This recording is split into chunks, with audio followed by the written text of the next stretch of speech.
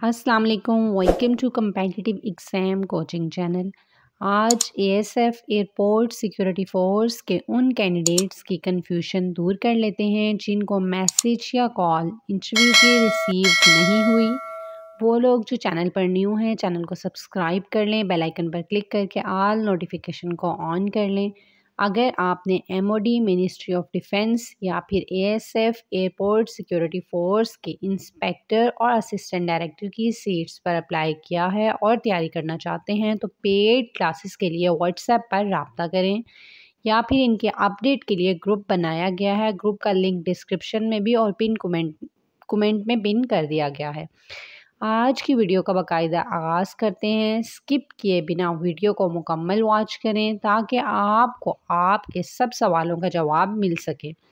Video को शुरू करते हैं। वो कैंडिडेट्स जिनको लगता है कि उन्होंने रिटर्न में अच्छा परफॉर्म किया था और उन्हें कॉल आई होगी या फिर मैसेज आया होगा या फिर मुझे इंटरव्यू की कॉल आनी चाहिए। तो ऐसी सूरत में हम कैसे मेरिट में चेक लिस्ट कर सकते हैं? ठीक है? मेरिट की जो लिस्ट है वो कैसे चेक कर सकते हैं? या फिर लिस्ट में अपना नेम देखना चाहता हूँ, ठीक है? वो स्टूडेंट्स जो ये कहते हैं कि मुझे इंटरव्यू की कॉल आनी चाहिए थी तो ऐसी सूरत में हम कैसे चेक करें कि हम पास हैं या फेल हैं? हो सकता है मैं पास हूँ, मैं लिस्ट में अपना नेम देखना चाहता हूँ या फिर रिजेक्ट कर दिया गया हूँ तो मैं रीज़न जानना चाहता हूँ कि मुझे रिजेक्ट क्यों किया गया? बहुत से ऐसे कैंडिडेट्स भी हैं जिन्होंने 35 प्लस मार्क्स हासिल किए हैं और इन्हें इंटरव्यू के मैसेज और कॉल्स आए हैं, ठीक है?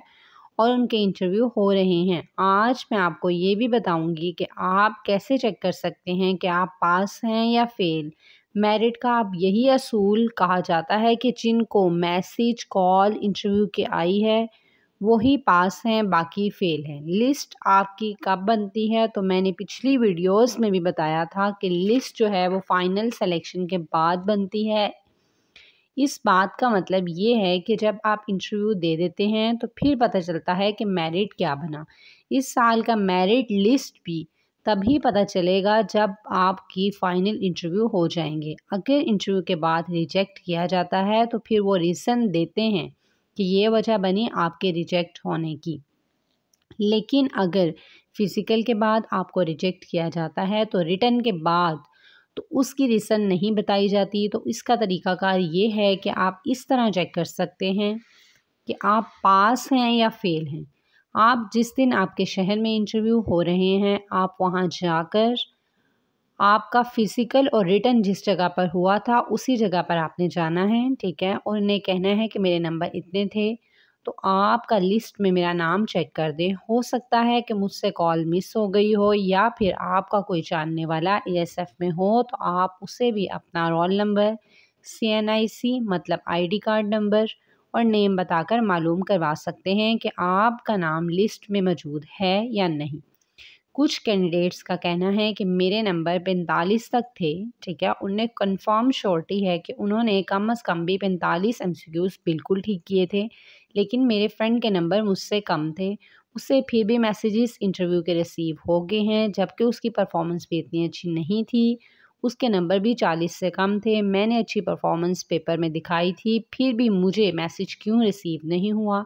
इसकी एक रीज़न ये बनती है कि जब टेस्ट होते हैं तो फिर इंटरव्यू के लिए, बुलाने के लिए वो बहुत बारीकी से सब कुछ चेक करते हैं और आपकी क्वालिफ़िकेशन देखते हैं, फिर आपके फ़िज़िकल के नंबर देखते हैं, फिर आपके रिटर्न के नंबर देखते हैं, फिर आपकी हाइट देखते हैं वेट देखते हैं तो फिर इस बेस पर आपको इंटरव्यू के लिए बुलाते हैं।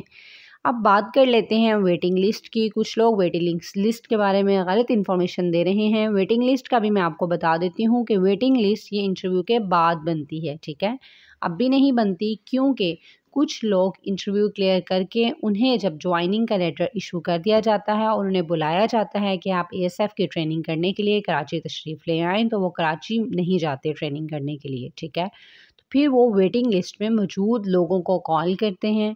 उम्मीद है आपके लिए वीडियो इन्फॉर्मेटिव हुई होगी। मिलते हैं नेक्स्ट किसी इन्फॉर्मेटिव वीडियोस के साथ। दुआओं में याद रखिएगा और चैनल को सब्सक्राइब करके बेल आइकन पर क्लिक करके ऑल नोटिफिकेशन को ऑन कर लें। अल्लाह हाफिज़।